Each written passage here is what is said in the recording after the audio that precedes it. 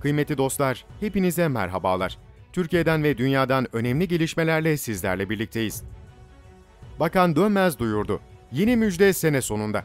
Değerli izleyenler, Enerji ve Tabi Kaynaklar Bakanı Fatih Dönmez, Karadeniz'de aranacak daha çok yer var derken, yılın sonunda ya da önümüzdeki yılın başında daha batıda bir müjde paylaşabiliriz açıklamasında bulundu. Enerji ve Tabi Kaynaklar Bakanı Fatih Dönmez, Fatih gemisinde önemli açıklamalarda bulundu.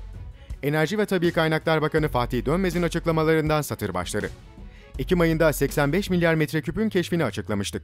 Haziran başında Amasra bir kuyusunda Sakarya gaz sahası içinde keşfimiz oldu. Keşifler sondaj amaçlı yapılan çalışmalarda açıklanıyor. Tuna 1 sonrası Türkali 1, 2, 3'ü açtık. Amasra ile birlikte 5 kuyuya ulaşmış olduk. Sahayla alakalı test ve analizlerin yapılması gerekiyor. Artık sahayı tanıma adına tüm veriler elimize ulaştı.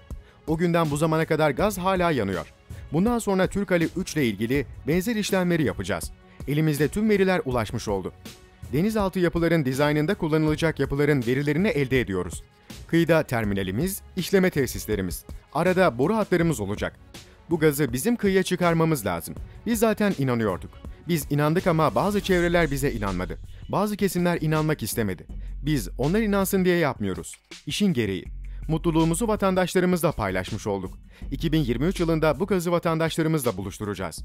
2023'te tüm vatandaşlarımız ocaklarını açtığında Karadeniz gazıyla buluşmuş olacak.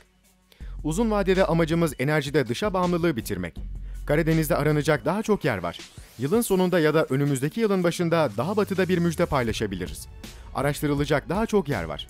Daha önceki çalışmalar ve yeni çalışmalar arasında jeoloji değerlendirmelerde farklılık söz konusu. Yeni parametrelere göre yeniden simüle edeceğiz. Daha batıda Karadeniz'in doğusunda yeni kaynak ve potansiyeller tespit edebiliriz. Burası Hazar Denizi'ne benzer bir potansiyel olduğunu gösteriyor. Sismik araştırmalara göre Karadeniz'i yeniden değerlendiriyoruz.